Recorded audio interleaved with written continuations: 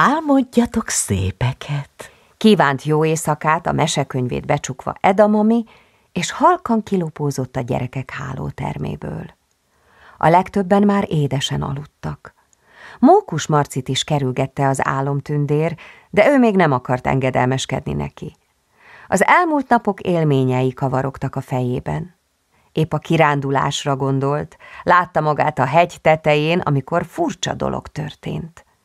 A hold gyönyörűen világított, az égbolt bársony fekete volt, s apró égkövekként ragyogtak a csillagok. Egyszer csak egy kedvesen csengő hangot hallott. Meglátogatsz, Marci? Szeretettel várlak. Ki vagy, és honnan beszélsz hozzám? Álmélkodott Mókus Marci. Innen fentről. Mókus Marci hiába forgatta a fejét. Ne bolondozz velem, nem látok senkit. Mérgelődött. Nem bolondozom. Itt vagyok, fenn a holdon. Feljössz hozzám? Szívesen, de nincs űrhajóm. Leküldöm a holdfényhidamat. Örvendezett a hang. Azért hallasz engem, mert a sok jó emlék összekapcsolt minket. Mókus Marci felállt a holdfényhídra, s már fenn is volt a holdon. A felszíne kopár volt. Hátrafordult, és hirtelen megpillantotta beszélgető társát. Gyönyörű, nagy, beszédes szemei voltak, s lágy fény vette körül. A haja hol barnának tűnt, hol szőkének, a bőre is több színben játszott. Hosszú ruhája ezüstösen csillogott. Ki vagy te? kérdezte Mókus Marci gyönyörködve. Folyton változol. Tette hozzá riadtan. Katka vagyok, válaszolt a lány. Ha megnyugszol, majd egyfélének fogsz látni. Mindenki olyannak lát, amilyennek szeretne. Hogy-hogy? Csodálkozott Mókus Marci. Mire elbúcsúzunk, megérted?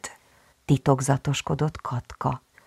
Gyere, nézd le a világodra, csoda szép. Bíztatta a fiút.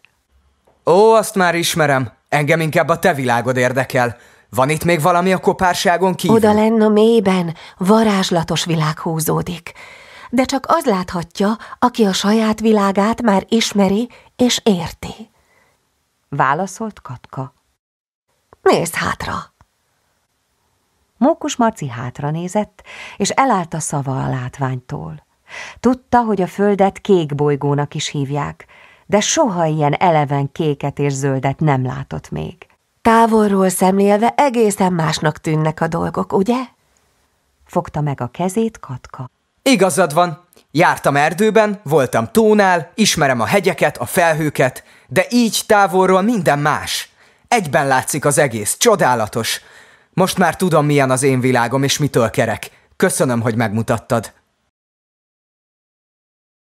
Most már megnézhetjük az én világomat is. Katka kettő tapsolt, s a talaj megnyílt alattuk. Álomszép színes világ tárult fel. Nem élőlények és tárgyak, hanem ismerős színek, illatok, képek alkották. Úgy érzem, mintha már jártam volna itt, mintha otthon lennék.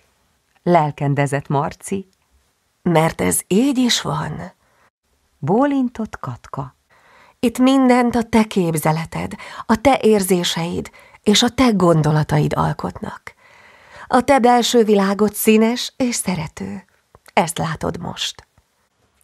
S mi lesz, ha sötét és komor lesz? Néha olyan szomorú vagyok.